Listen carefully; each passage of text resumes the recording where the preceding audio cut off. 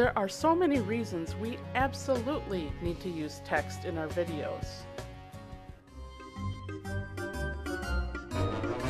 Along with graphics and music, when we're channel flipping, the title may offer us just that last little bit of information to keep us on that channel.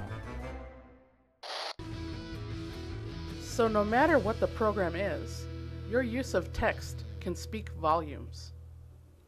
It's not to say that we're going to. We will also use text to identify the people that we interview, as well as the hosts of our television shows. Access. I'm Mike Wassenaar.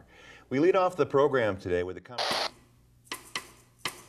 Text will also help us identify different events or establish location. And uh, that's about Text is also useful to share important around some of the information, like dates for upcoming events. Tuesday, October 3rd is the Intro to SPNN class, followed by a crew class at 7:30. Or you may find it handy to emphasize important directions in your instructional videos. Now before we begin this month's tech tip, I want to mention Final Cut Express comes bundled with two text generating programs. One is Boris Graffiti, which I used here to create an icy look to my text.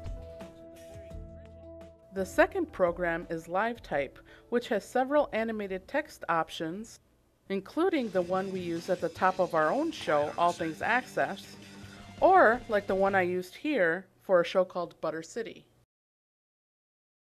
But these programs are going to have to wait for another time. Today we're going to learn how to create a title using Final Cut Express. So let's get a preview of the video we're about to create.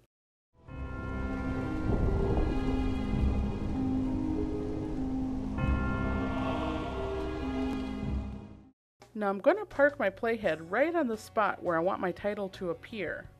Next, click on the text button, which is located in the lower left corner of the viewer window.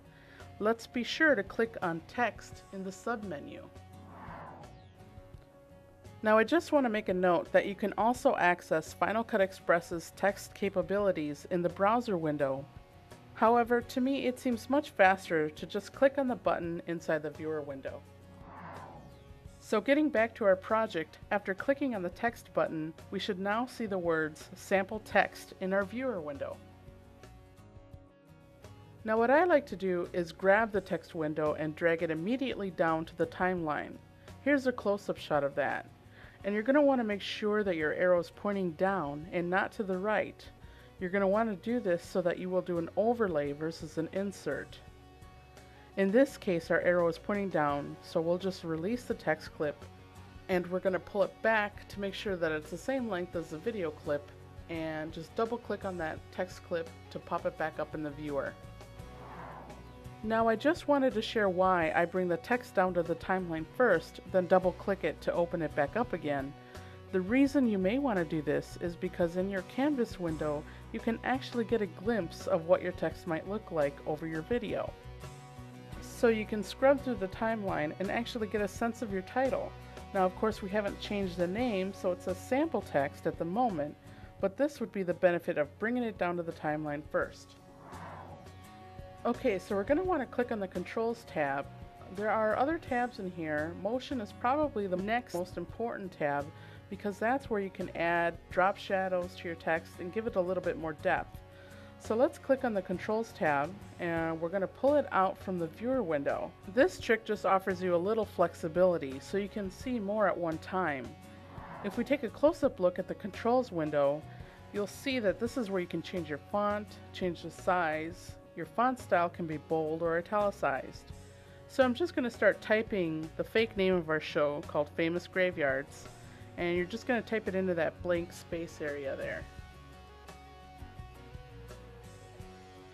And you can just play around with the different font styles. Just play until you find the one that will kind of match your video. Match the color, match the size. This is just going to take a little bit of time because you're trying to create the best text look for your video. And there are just so many options to choose from. You are also going to need to pay particular attention to color. Reds, I would definitely avoid reds. They're just a little bit too bright for NTSC videos. Try to stay away from heavily saturated colors. They tend to bleed just a little bit too much. Another tip is to make sure that your text stays within the inner square zone here. This will ensure that your titles fall within the title safe area.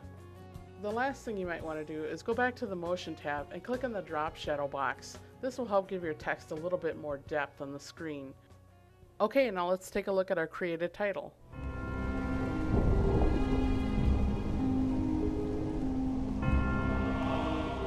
That's our tech tip. Thanks for watching.